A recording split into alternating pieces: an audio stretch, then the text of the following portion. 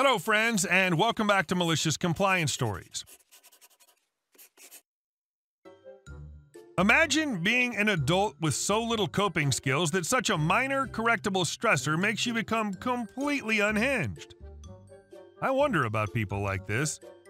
But before we begin, best way to support our channel is to leave comments, like, and subscribe with the turned on bell so you don't miss the new video every single day. Here we go. No, I can't let you into your room. I'm a regional technician for a global company. This is exceptionally mild and probably wouldn't have posted it, but this guy was amusing. Staying at a Schmyet with my husband, who's in his company uniform, as we're here for a work thing.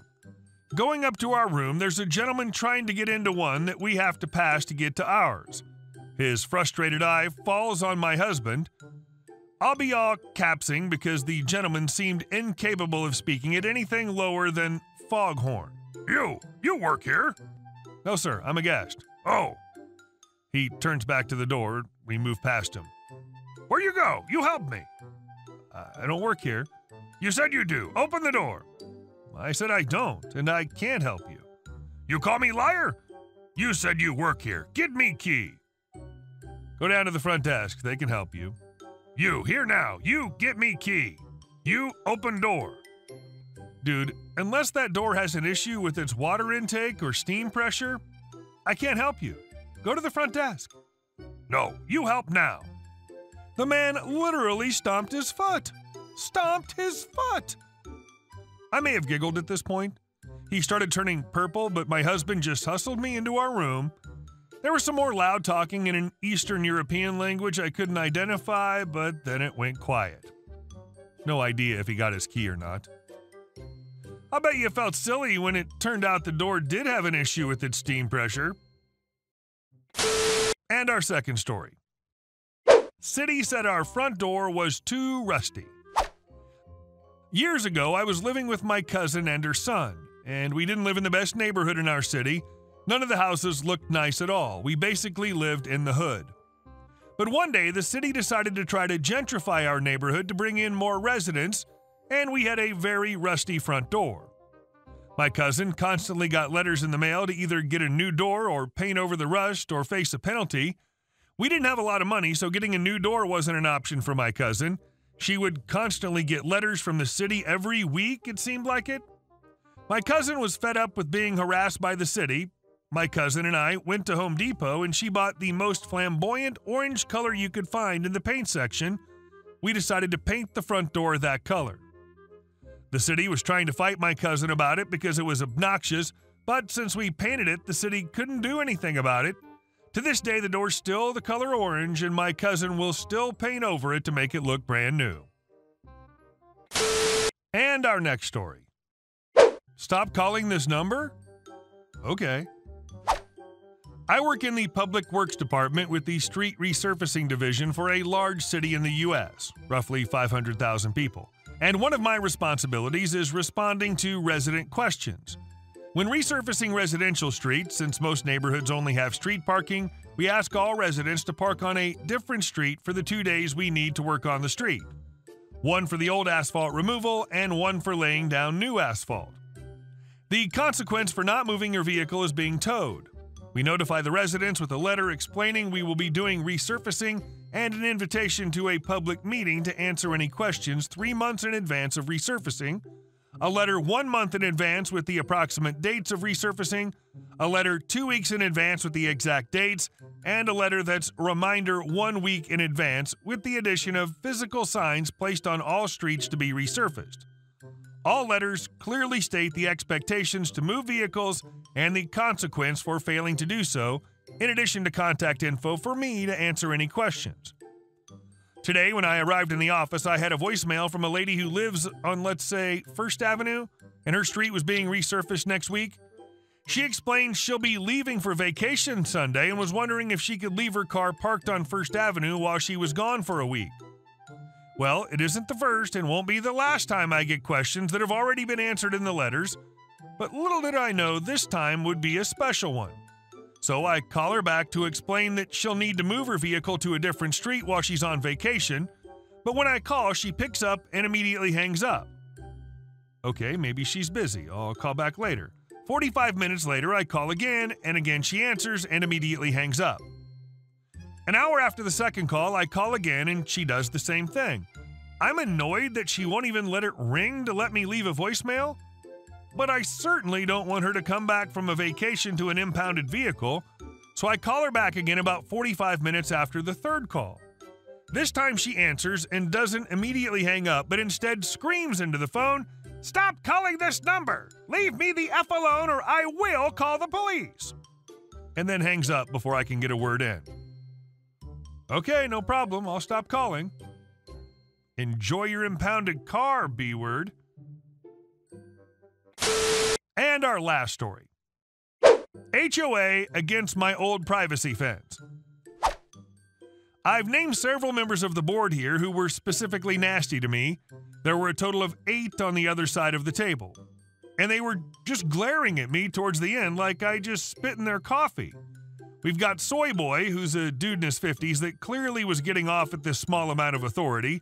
Karen Prime, who made a comment about my vegetation that was unwarranted and exaggerated after I told them I plan on building a newer version of my current fence. Decrepit Snake Karen, who's been nice to the point of annoying over the past 18 months or so I've lived here, for me to find out it was her who's been taking pictures and originally filed the complaint. And Admin Lady, who I have zero problems with, because she basically fed me the ammunition required to own these people. A few months back, I was cited for my six foot privacy fence looking disorderly. It's a valid citation as the fence is 20 years old and I've wanted to fix it since the day I moved in two years ago. The only problem is that I'm recovering from a bankruptcy and I won't get approved for an equity loan or any loan really until January of 2025, which will be two years after the discharge. With the citation from earlier this summer, I replied that I was unable to pay for a new fence at this time and I asked for leniency until I could.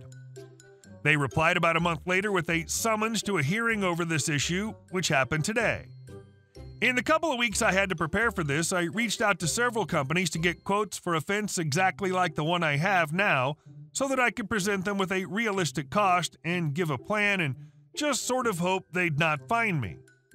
While I'm in the meeting telling them about these options, decrepit Snake Karen says they won't approve my style of fence, six foot privacy, and that's the majority of the problem. It took a minute for this to sink in what she'd just said to me, and once it did, I had some questions.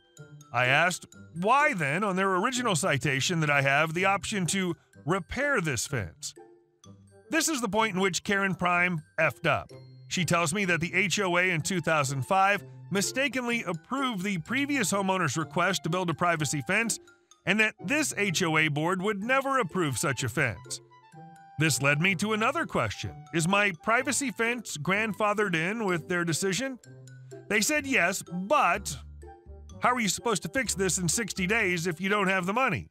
I told them that I really like this type of fence and I don't want to replace it with one of their options.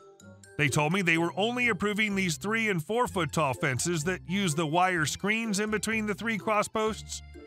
At this point, I asked them why they're citing me in the first place when a house in our neighborhood sold for 55k over the asking price a few months back, which clearly indicated to me that no one is taking the condition of my fence into serious consideration before buying.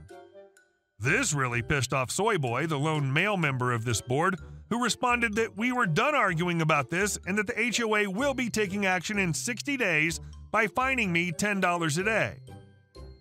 That's about $3,600 over the year, so I'm thinking I'm just going to have to get effed at this point. That is until the admin lady at the end of the table pipes up that the maximum fine is capped at $900.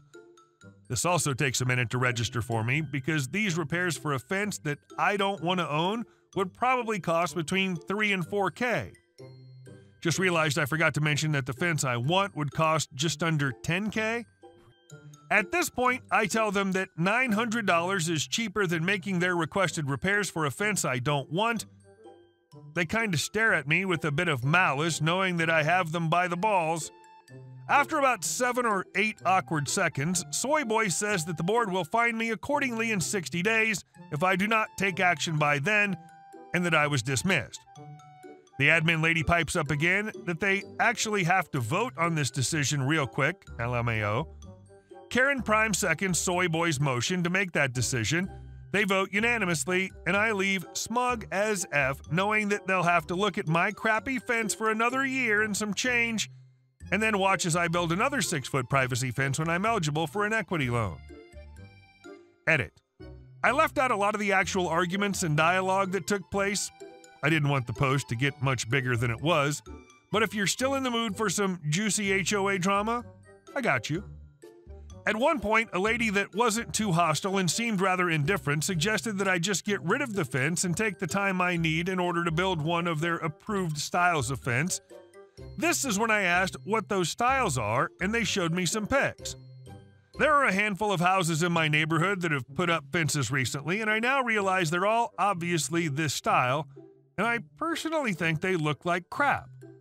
After seeing them and remembering my neighbor's fences, I tell them I think those styles have zero character, and I don't want that kind of fence. Karen Prime cannot believe I just insulted her preferred choice of fence. At least I'm assuming it's her who chose these options because she definitely took it personally. Because she starts going off on a tangent about my lawn, telling me how she's been wanted to come chop down these various weeds for months. Heavily exaggerated the state of my lawn to the point of downright making crap up she ends it with saying that my style of fence is unbecoming of the neighborhood. Another member who also wasn't too hostile basically tries to bargain with me at this point, saying that there doesn't need to be any action taken if I just agree to replace my fence with the one they like. I was talking with my brother shortly after this, essentially just to revel in my victory, and he suggested that I mail them to ask if they'll pay for half of the fence that they want me to build. If they say yes, I'd respond with, Never mind, just to salt the wound. If they say no, at least I get to bother them with a reminder that I'll be accepting the fine. Hey guys, thank you all for watching the video. I'll see you in the next one.